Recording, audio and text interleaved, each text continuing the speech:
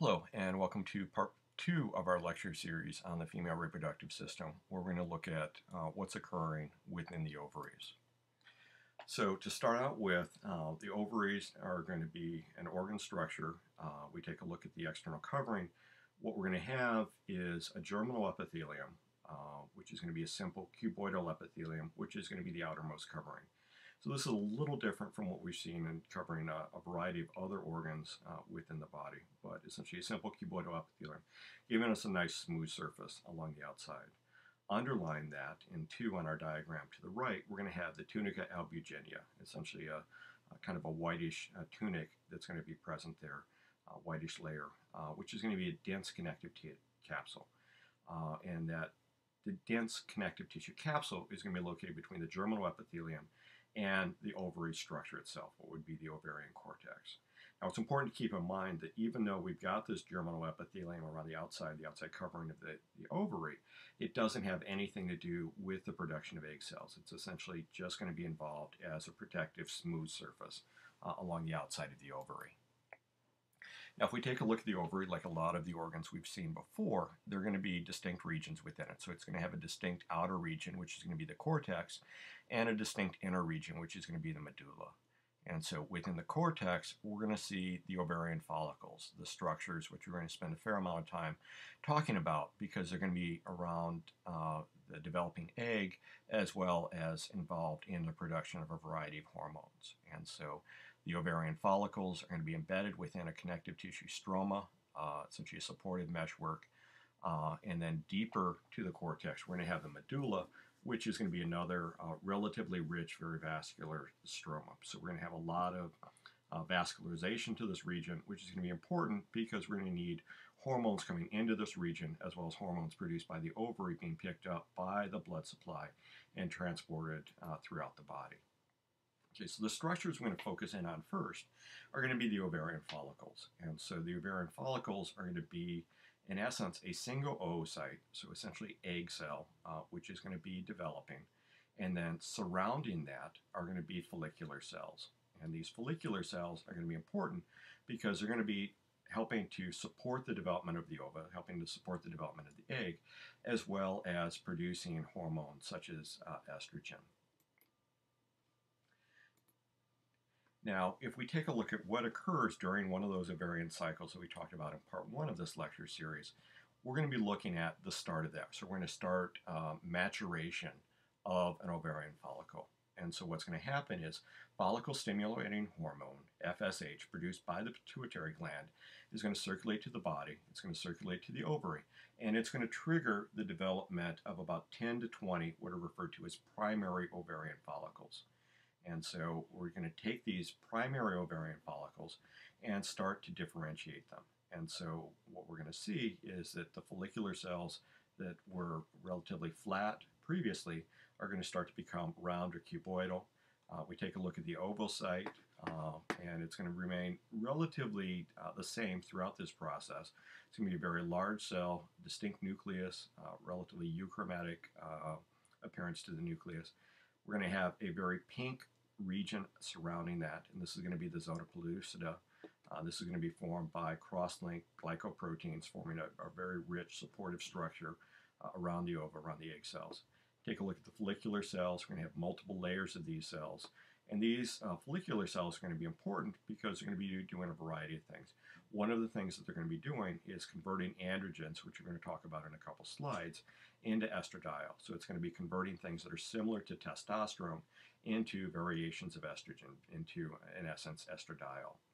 Uh, it's also going to be involved with producing what's referred to as liquor folliculi, uh, the liquor or the fluid of the follicle, uh, which is going to start to accumulate uh, in these ovarian follicles. So what we're going to see is what we've described is the ova, the egg to the center, the zona pellucida, there are a pink region immediately surrounding it, and then we've got these follicular cells. And these follicular cells are going to be sitting upon a basement membrane. So they're sitting upon a distinct structure. And then outside of that is going to be uh, the theca folliculi, the theca or the connective tissue component associated with these ovarian follicles. And so we're going to be a supportive uh, connective tissue. And these cells out here are going to differentiate into steroid hormone producing structures. And so cells within the theca folliculi within the connective tissue are going to be involved with producing the androgens that those follicular cells then are going to convert into estradiol. Okay, as this uh, ovarian follicle develops, it's going to go from a primary follicle where you're going to start to see, you know, kind of the larger uh, cluster of cells around it, multiple layers of the uh, follicular cells, small amounts of fluid they're going to be accumulating.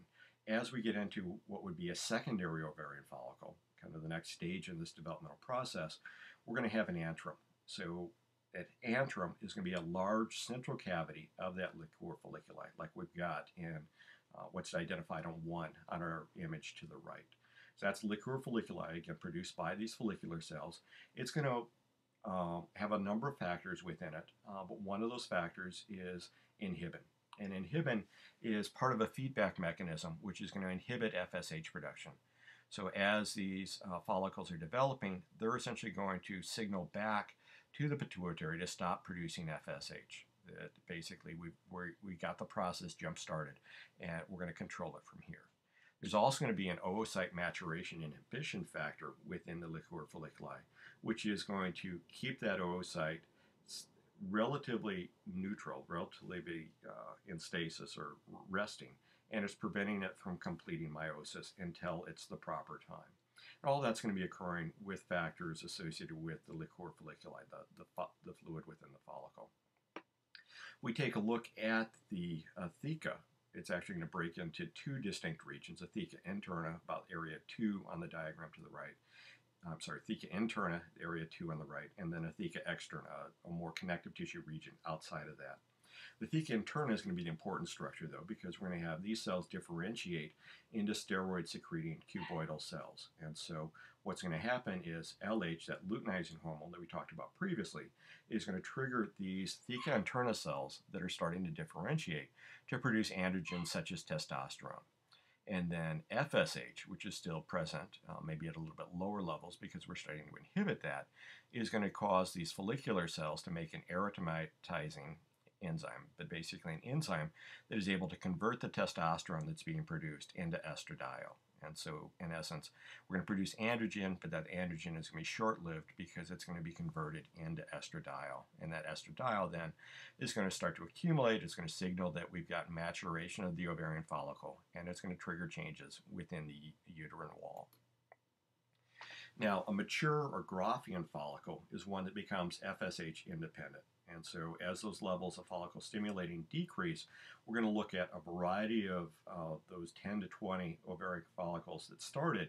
Only one, normally only one, relatively few, are going to be able to control their process by becoming FSH independent. They don't need FSH to continue their development. They're able to develop on their own. And what's going to happen then is when they become FSH independent, we're going to start to see the oocyte complete meiosis 1. And again, normally only one follicle, only one oocyte is going to be doing this. So it's going to complete meiosis 1 immediately prior to ovulation. And so what you're going to see is probably not a lot of difference in the appearance of the cell, but you're going to be looking at um, uh, ovarian follicle that's going to be very, very large, about 2.5 centimeters in diameter. So it's basically going to take up the majority of the size of the ovary it, it's going to fill up the entire ovary in essence. We take a look at the oocyte, we're going to still see uh, the zona pellucida immediately surrounding it, that area very pink staining in one on the diagram. We're going to have a corona radiata, essentially a, a, cluster of follicular cells, single layer, which is going to be immediately surrounding the oocyte, immediately surrounding the zona pellucida. And when that egg is released, when the ova is released in the process of ovulation, the corona radiata cells are going to go along with it as, again, a protective mechanism. They're going to be lost relatively quickly, but they're still going to be surrounding and supporting that ova a little while longer.